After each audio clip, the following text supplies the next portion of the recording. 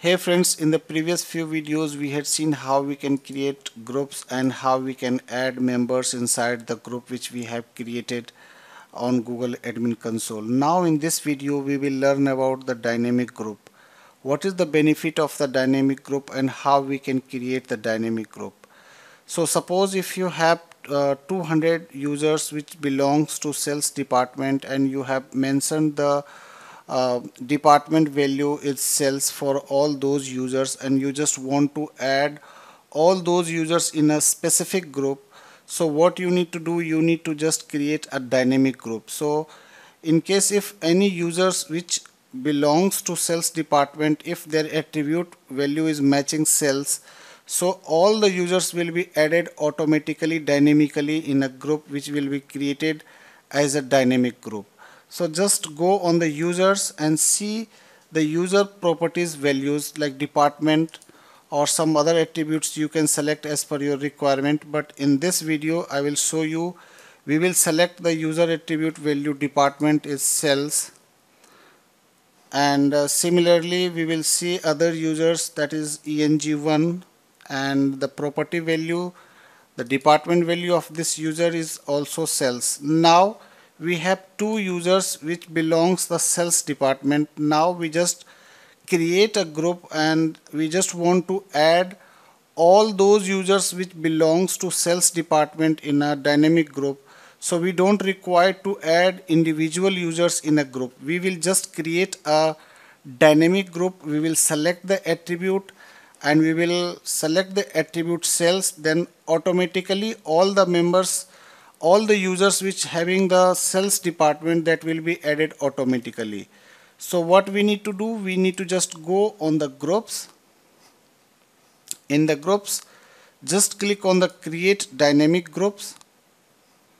Here you need to just specify the condition.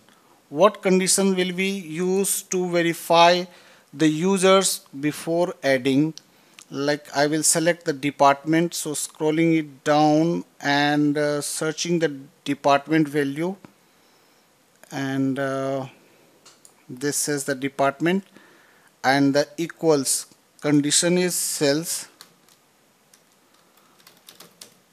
so in case any users having the sales department that will be added automatically. So this is not only for the current users but also this will be used for the upcoming users which belongs to the sales department that will be added automatically as well. So we just need to check the condition and uh, click on the add condition. Here we have just selected the condition sales department. Now click on the preview see there are the two users which belongs to the uh, sales department. These users will be added. Now click on the create dynamic group and specify the group name. I'm just going to specify the sales sales team and group email will be sales so this is the group email address and this is the group name and this is the description for this group and now I'm going to click on the save. So the group has been created. Now you can just modify the group settings for sales department and you can also see the group details for the uh, sales department. So just click on the uh, description. Now you can see there are the two dynamic members has been added and I'm just going back. So this group has been created. Now go on the groups. Now you can see the sales department has been uh, created. With the two members we haven't added manually. We have just specified the department equal to sales and the users has been added automatically. Now we will create a new users and will specify the department value as well and I will see the users will be added automatically in the uh, sales group because it will just check the condition for the user department. Now I'm going to specify sales 1 sales dot user and uh, user. This is the email address for this account. Now I will click on the add new user.